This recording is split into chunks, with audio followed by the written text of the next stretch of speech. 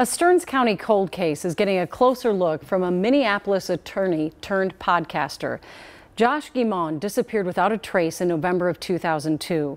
Here's Lou Raguse with what the new podcast reveals. On November 9, 2002, at around midnight, St. John's University student Josh Guimond had about a three minute walk from a student apartment where he was drinking with friends back to his dorm. He never made it. Josh's body was never found. The case was never solved. Now, a Minneapolis attorney is determined to help. I mean, I've been interested in missing persons cases since Jacob Wetterling. Josh Neuville is producing a podcast called Simply Vanished, in which he actively investigates the case. He released the first episode Saturday. This is Simply Vanished. I'm your host, Josh Neuville.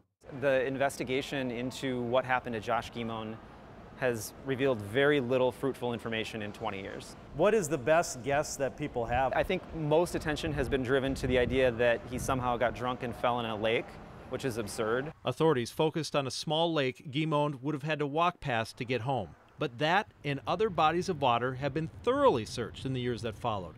And Neuville says focusing on that theory allowed time to pass without looking at other leads. Which is this idea that he may have been attacked.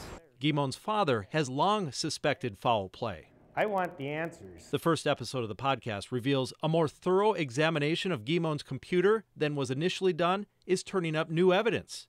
Neuville is turning over everything to police in hopes this effort leads to finally solving the case. So we are begging the public to listen and to give us any information they have about what we're going to talk about. The next episode of Simply Vanished comes out Monday, June 27th, and then every other Monday after that. Back to you.